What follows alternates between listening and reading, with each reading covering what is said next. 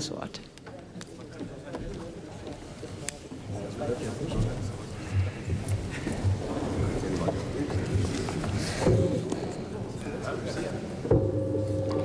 Frau Präsidentin, meine Damen und Herren! Ja, die Beschaffung des Open Skies äh, Flugzeuges, das war ein Erfolg, aber jenseits dessen waren vier Jahre schwarz-rot, vier verlorene Jahre für die Abrüstungspolitik. Ob es um den Abzug der Atomwaffen aus Deutschland geht, ob es um ein Investitionsverbot in Streumunition geht oder den historischen Atomwaffenverbotsvertrag, das sind nur drei wichtige Beispiele, bei denen einfach nichts passiert ist. Vor ein paar Jahren gab es in diesem Hohen Haus einen sehr großen Konsens, und das ist ja auch wirklich selten, wo von der CSU bis zur Linkspartei alle wollten und erklärt haben, dass der Abzug der US-amerikanischen Atomwaffen unser gemeinsames Ziel ist. Und es ist doch unfassbar, wie schnell Union und SPD diese Einigkeit und dieses wichtige Ziel aufgegeben haben. Und es wäre schlimm genug, dass wir keinen Schritt weiter sind bei der Frage, dass Deutschland endlich atomwaffenfrei wird. Aber diese Bundesregierung hat dem gigantischen Modernisierungsvorhaben der USA zugestimmt, das auch die in Rheinland-Pfalz stationierten Atombomben betrifft. Und es werden nicht nur die Waffen, sondern auch die deutschen Kampfflugzeuge, die sie im Ernstfall abwerfen müssten, nun für horrende Summen modernisiert werden müssen. Und niemand glaubt doch, dass das, was jetzt teuer aufgerüstet wird, in den nächsten Jahren dann abgezogen werden wird. Und somit zementieren Sie den Verbleib dieser Waffen in Deutschland. Das ist kein Stillstand, sondern ein Riesenrückschritt, meine Damen und Herren. Und in einem gemeinsamen Antrag fordert die Opposition auf, diese Aufrüstungspläne zu stoppen und zu unserem frühen Friedens, früheren friedenspolitischen Konsens zurückzukehren, damit Deutschland endlich atomwaffenfrei wird. In dem Antrag wollen wir aber auch, dass die Bundesregierung einen anderen Fehler rückgängig macht. Ihre Blockadehaltung bei dem breiten internationalen Prozess zum Verbot von Atomwaffen. Es gibt eine Reihe von internationalen Verträgen, die besonders grausame Waffen wie Streumunition, wie Landminen, wie biologische oder chemische Massenvernichtungswaffen ächten. Es fehlt unter ihnen aber doch besonders einer, ein Verbotsvertrag über Atomwaffen, die barbarischste und grausamste Waffe, die die Menschheit je erfunden hat. Und weil die Atomwaffenstaaten ihren jahrzehntelangen Abrüstungsversprechen nicht nachgekommen sind, hat sich eine überwältigende Mehrheit von über 120 Staaten bei den Vereinten Nationen auf den Weg gemacht, einen historischen Schritt gemacht und Verhandlungen über einen solchen Verbotsvertrag auf den Weg gebracht. Die Bundesregierung, sie redet gerne von einer atomwaffenfreien Welt. Sie spricht davon, dass man die internationalen Organisationen stärken soll, und sie kündigt eine neue deutsche Verantwortung in der Außen- und Sicherheitspolitik an. Das hier wäre die Gelegenheit gewesen, all diese drei Versprechen einzulösen.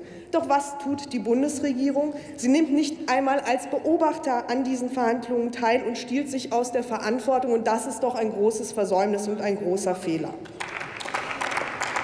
Die Bundesregierung hat ja auch gar nicht Unrecht, wenn sie als Problem benennt, dass die Nuklearwaffenstaaten nicht mit dabei sind. Aber statt den Staaten, die sich für einen Verbotsvertrag engagieren, vorzuwerfen, dass sie der Abrüstungspolitik schaden, sollte die Bundesregierung doch lieber die Nuklearwaffenstaaten dafür kritisieren, dass sie, um ihre eigenen Privilegien und Interessen zu schützen, sich diesem historischen Prozess verweigern. Und hier sollte man sich eben nicht mutlos hinter den Atomwaffenstaaten verstecken, weil das an der Stelle einfach nur ein außenpolitisches Armutszeugnis ist. Liebe Kolleginnen und Kollegen, aber auch die, ein anderes Argument der Bundesregierung entlarvt sich da sehr schnell. Auch bei den Verbotsverträgen zu Streumunition und Landminen waren nicht alle Staaten von Anfang an dabei.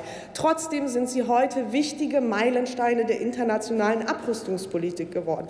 Ja, die Verträge haben leider, leider nicht dazu geführt, dass diese schrecklichen Waffen, die besonders die Zivilbevölkerung treffen, gar nicht mehr eingesetzt werden. Aber heute sind viele Staaten diesen Verträgen beigetreten. Es müssen auch noch mehr werden.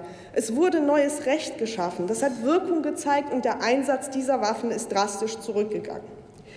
Die Bundesregierung war auch damals skeptisch und zögerlich, hat am Ende aber doch mitgemacht. Dass seit 2015 alle Streumunitionsbestände der Bundeswehr mittlerweile vernichtet sind, das ist ein gutes Zeichen. Trotzdem ist auch hier in Deutschland noch nicht alles gut, wenn es um Streumunition und Landminen geht. Es kann doch nicht sein, dass die Lagerung, die Herstellung und die Entwicklung von Streumunition und Landminen verboten sind, es hierzulande aber erlaubt ist, dass zum Beispiel im Rahmen von Fonds, im Rahmen der Riester-Rente in Firmen investiert werden darf, die diese grausamen Waffen herstellen. Damit dafür ein für alle Mal Schluss ist, haben SPD, Linke und Grüne letzte Legislaturperiode einen gemeinsamen Antrag ähm, für ein, in einem gemeinsamen Antrag ein konsequentes Investitionsverbot gefordert. Wir stellen heute diesen Antrag noch mal wortgleich zur Abstimmung. Und liebe Kolleginnen und Kollegen von der Koalition, ich appelliere an Sie, stimmen Sie zu, damit sich hier endlich etwas verbessert und diese zynische Praxis beendet wird. Meine Damen und Herren, die weltweiten Militärausgaben sind im letzten Jahr gestiegen. Auf 1,6 äh, Billionen US-Dollar haben die, haben die Regierung ausgegeben, um ihre Waffenarsenale auszurüsten und noch schlagkräftiger zu machen. Allein 10 Prozent würden ausreichen, um Armut und Hunger auf der Welt zu bekämpfen, und dort wären diese Gelder eindeutig besser investiert. Aber statt sich dafür einzusetzen, folgt die Verteidigungsministerin Ursula von der Leyen lieber dem von Trump ausgegebenen Ziel, dass alle NATO-Mitgliedstaaten möglichst schnell zwei Prozent ihres Bruttoinlandsprodukts für Militär ausgeben sollen. Das kommt einer Verdoppelung des Verteidigungsetats von heute gleich auf die gigantische Summe von 70 Milliarden Euro. Mehr Geld für Militär und Rüstung, das verengt die sicherheitspolitische Debatte doch auf das rein militärische. Und darüber gerät einmal mehr all das, was wirklich mehr Sicherheit schafft und Konflikte nachhaltig löst, als recht aus dem Blick. Es ist auch viel Geld, das eindeutig besser investiert wäre in Klimaschutz, in Bildung und in zivile Krisenprävention. Das Schlimmste an dieser Debatte ist aber, dass sie blind für die Gefahren sind, die mit diesen Aufrüstungsplänen verbunden sind. Natürlich werden auch andere mit Aufrüstung reagieren, und am Ende schafft das in der Konsequenz nicht mehr Sicherheit für uns, sondern mehr Unsicherheit für alle. Dass mehr Rüstung automatisch mehr Sicherheit bedeutet, das ist eine falsche, eine trügerische und eine gefährliche Gleichung. Dafür verabschieden Sie sich endlich von diesem irrsinnigen Zwei-Prozent-Ziel. Und meine Damen und Herren, großen Schaden nicht nur für die Abrüstungspolitik, sondern auch für Menschenrechte, Frieden und Sicherheit richtet Schwarz-Rot vor allem mit den deutschen Waffenexporten an. Noch nie wurden in der Geschichte der Bundesrepublik so viele Rüstungsexporte genehmigt, noch nie solche Rekordwerte der Verantwortungslosigkeit verzeichnet. Sie haben Waffen an Regime geliefert, in denen Menschenrechtsverletzungen an der Tagesordnung sind. Sie haben Waffen an Kriegsparteien genehmigt. Staaten wie Saudi-Arabien und Katar mit Waffen zu beliefern, das ist, hat nichts, aber auch wirklich rein gar nichts mit Sicherheitspolitik zu tun. Und es muss endlich Schluss sein, dass Rüstungsexporte genehmigt werden auf Kosten von Frieden, von Sicherheit und von Menschenrechten.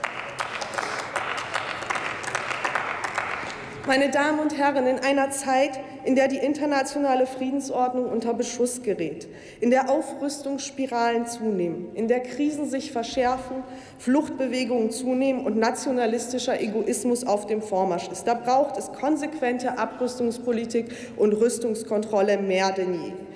Vier Jahre Schwarz-Rot, das waren vier verlorene Jahre für die Abrüstungspolitik. Höchste Zeit für eine Bundesregierung, die mehr Einsatz und mehr Mut für Frieden und Sicherheit zeigt. Vielen Dank. Als nächster Redner hat der Staatsminister des Auswärtigen Michael Roth das Wort für die Bundesregierung.